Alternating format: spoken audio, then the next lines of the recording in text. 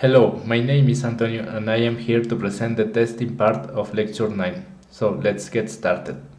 The testing part of this week is written in the file unit testing on the folder test of week 09.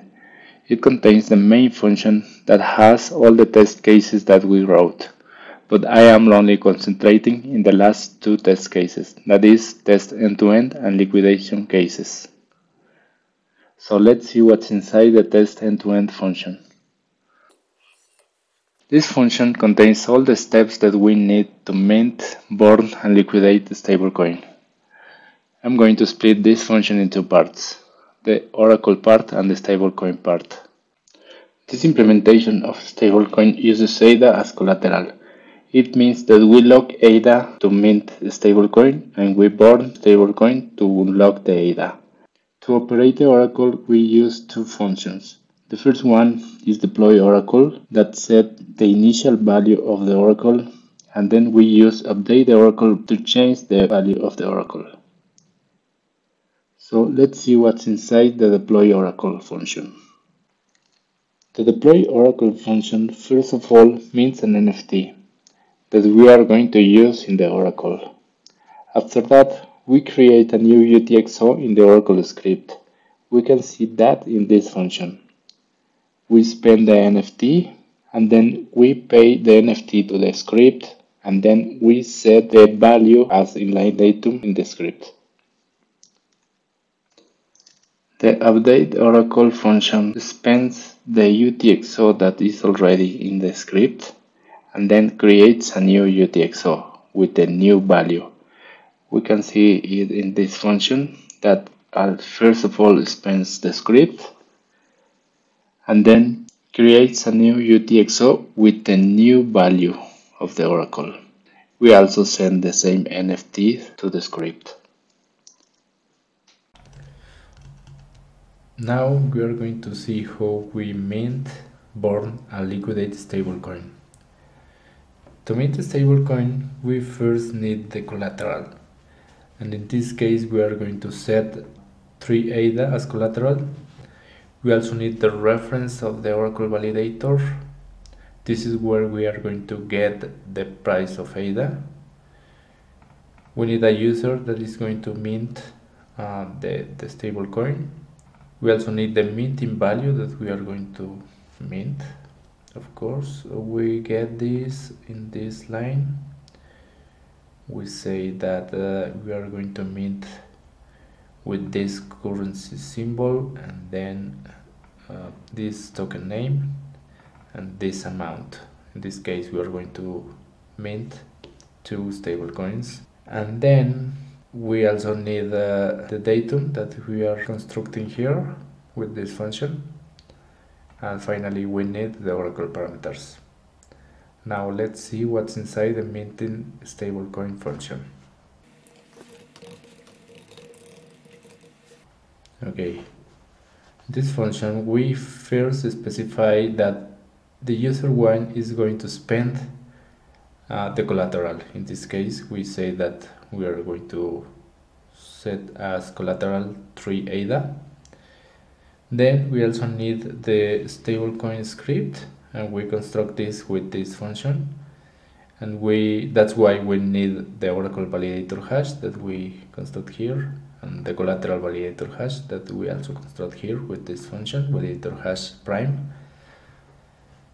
And uh, we construct the transaction with this function mint stable, stable coin. And this is here. First of all we say that we want to mint something uh, what's that we're going to mint? The value that we already said. This is the redeemer. The redeemer is mint. Uh, we also pay to key. We are going to pay to user. We are going to pay the value that we already minted. Now the script also requires uh, to set the reference script of the oracle this is what we do in this line um, and then we say that we want to lock some of collateral in the script well that's what we do in these two lines Now we are going to see uh, how we burn the stablecoin.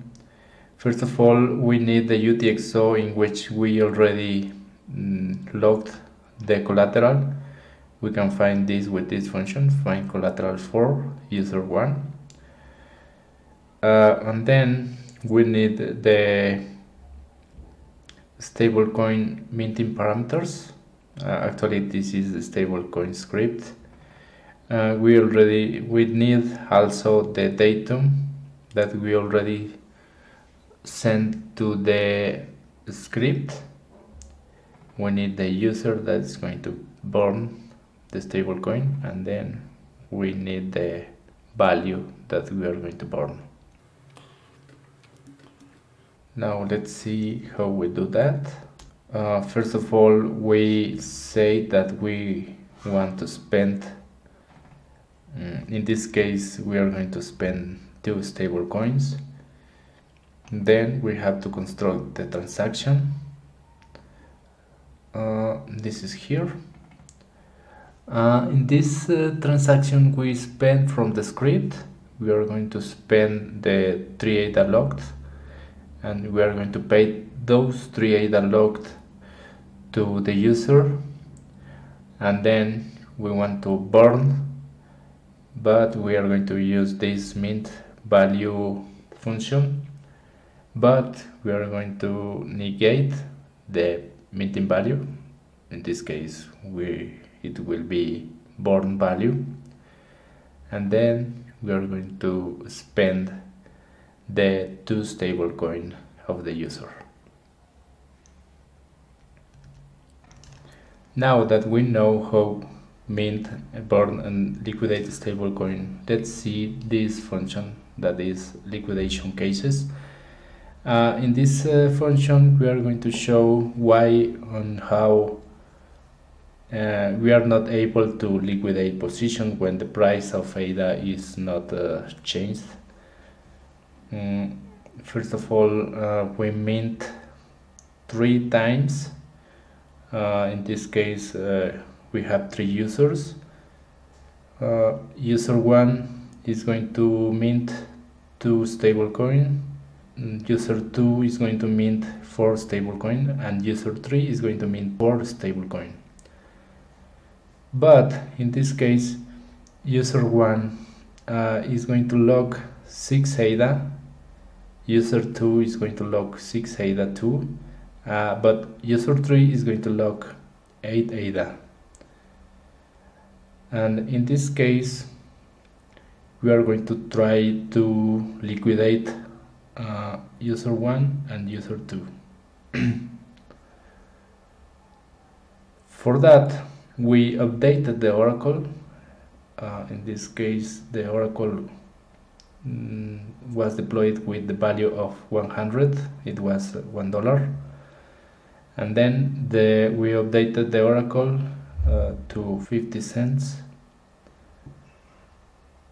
And we are looking for collateral of uh, user 1 and collateral of user 2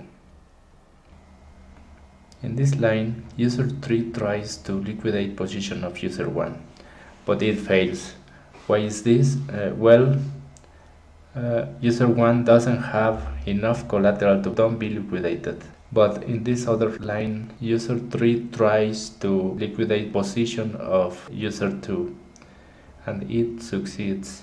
Why is this? Well, uh, user 2 doesn't have enough collateral to don't be liquidated.